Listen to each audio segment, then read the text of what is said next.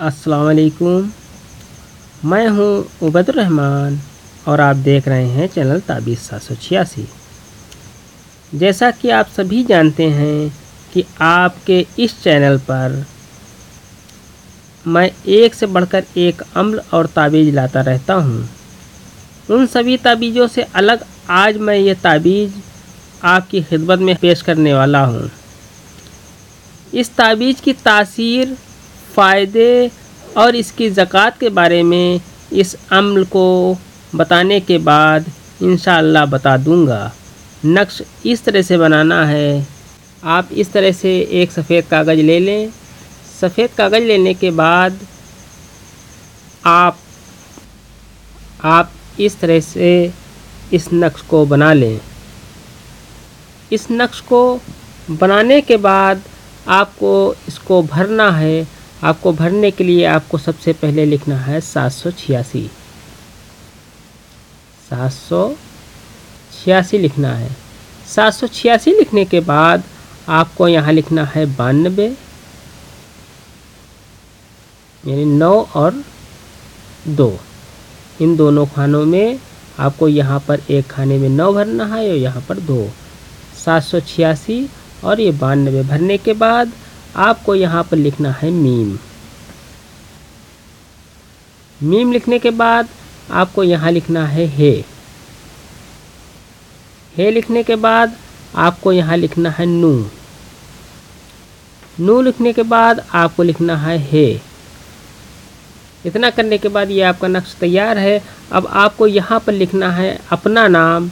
आपको यहाँ पर अपना नाम लिख देना है।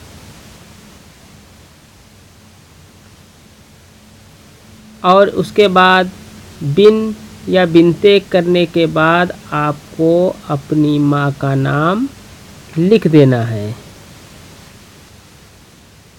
यहाँ पर अपनी माँ का नाम लिख दें। यहाँ पर अपना नाम लिख दें। अगर आप लड़की हैं तो बिनते लिखने के बाद आपको अपनी माँ का नाम लिखना है। और अगर आप मर्द हैं तो आपको अपना नाम लिखने के बाद यहाँ बिन लगाना है, उसके बाद अपनी माँ का नाम लिखना है। इतना करने के बाद ये नक्श आपका तैयार हो गया।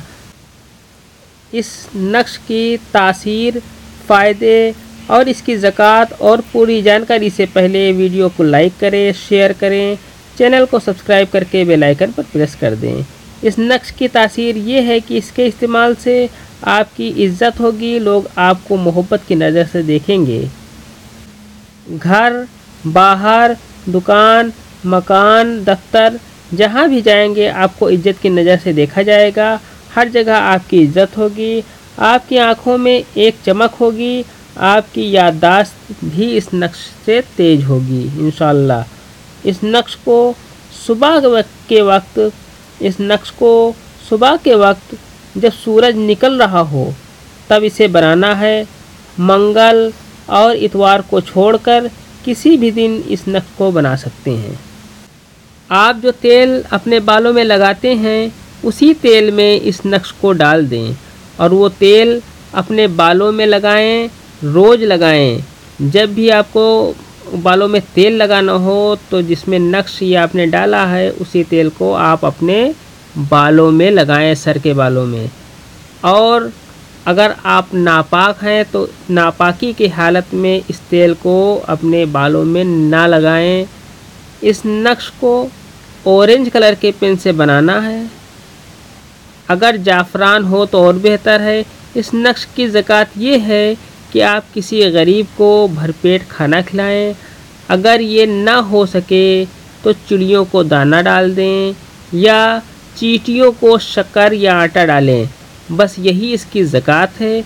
ये अम्ल सिर्फ़ जायज़ मकसद के लिए है। आज की वीडियो में इतना ही। मिलते हैं इंशाल्लाह अगली वीडियो में। तब तक के लिए अल्लाह हाफिज़, दुआ की दरख्वास्त के साथ।